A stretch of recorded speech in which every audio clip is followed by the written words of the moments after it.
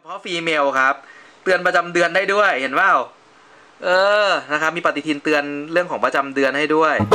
เพื่อนๆที่เพิ่งเข้ามาดูช่อง T3B เป็นครั้งแรกนะครับ ที่นี่ไม่มีจำหน่ายสินค้าใดๆนะครับ เป็นเพียงช่องรีวิวสินค้าเท่านั้นเอง แต่เพื่อนๆสามารถสั่งสินค้าแบบเดียวกับที่ผมรีวิวได้จากลิงก์ใต้คลิปวิดีโอนี้ครับและเพื่อนๆสามารถกดติดตามช่องผมจากปุ่มติดตามครับ หรือปุ่ม subscribe แบบนี้ และอย่าลืมกดกระดิ่งครับ จะได้ไม่พลาด คลิปใหม่ๆที่ลงทุกวันศุกร์วันเสาร์และยังมีคลิปพิเศษเกือบทุกวันเลยเวลา2ทุ่มตรงตามสัญญาครับตั้งแต่ต้นปี 2018 มานะครับที่บอกว่าจะรีวิว Smart Band ที่ออกมาใหม่ครับในปี 2018 ให้หมดนะครับ ก็เดี๋ยวเดือนนี้ครับจะลงรีวิว Smart Band ให้ครบทุกตัวนะครับ วันนี้ครับ เป็น Smart Band ออกใหม่ครับ ประจำปี 2018 ครับ Xiaomi P4 ครับ บอกไว้ก่อนเลยครับว่า Smart Band ตัวนี้เนี่ยนอกจากจะวัดความดันวัดหัวใจ วัดเรื่องเวลาการออกกำลังกายต่างๆของเพื่อนได้แล้ว มีความสามารถพิเศษครับ คือสามารถเตือนเรื่องของรอบเดือนผู้หญิงได้อีกด้วย ถ้าพร้อมแล้วครับ ไปแกะกล่องดูกันเลย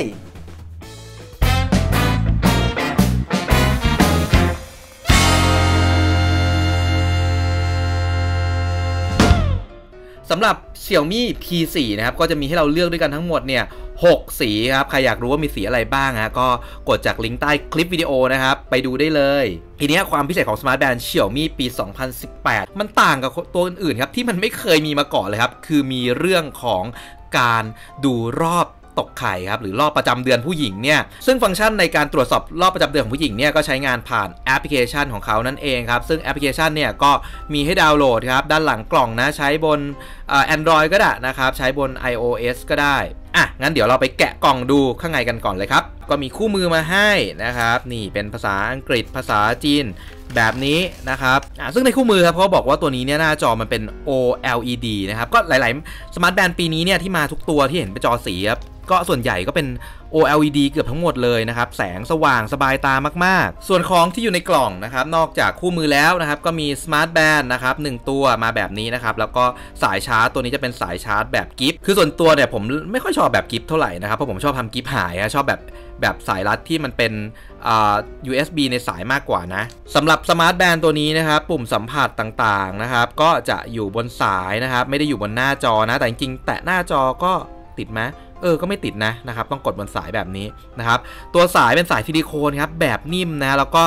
มีร่องแบบ 2 ชั้นครับก็สวยงามดีนะครับแล้วก็มีลาย texture มาแบบนี้ด้วย สายรัดนะครับสำหรับคนข้อเล็กๆ มาก ๆนะครับนี่ นะครับใส่ได้เล็กถึงขนาดนี้เลย งานต่างๆของซิลิโคนนะครับถือว่าทำออกมาได้ดีนะไม่มีรอยบาดรอยคมอะไรเลยนะครับถือว่างานเนี่ยดีมากๆ หน้าจอแรกนะครับก็จะแสดงเรื่องของบอกเวลานาฬิกาต่างๆนะครับการเชื่อมต่อนะครับกดค้างก็ดูเวอร์ชันหน้าจอที่2ครับก็เป็นใช้การใช้งานนะครับการออกกำลังกายนะครับกดหน้าจอค้างไว้ การจับเวลานะครับสามารถ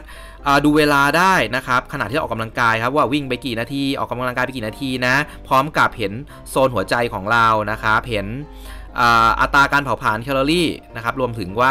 นับก้าวเดินให้เราด้วยนะครับ เมื่อเราใช้เสร็จปุ๊บก็กดค้างไว้นะครับเขาก็จะหยุด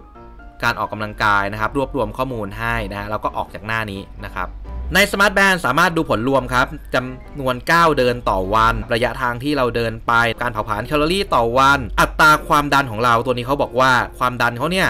เช็คได้อย่างแม่นยำค่อนข้างแม่นยำฮะก็ยังไม่ได้ test กับเครื่องวัดความดันในโรงพยาบาลนะ แต่ว่าในคู่มือเขาบอกมาแบบนั้นนะ สำหรับตอนนี้ครับ ฟังก์ชันวัดความดันเนี่ย แทบจะเป็นฟังก์ชันมาตรฐานของ Smart Band ในปี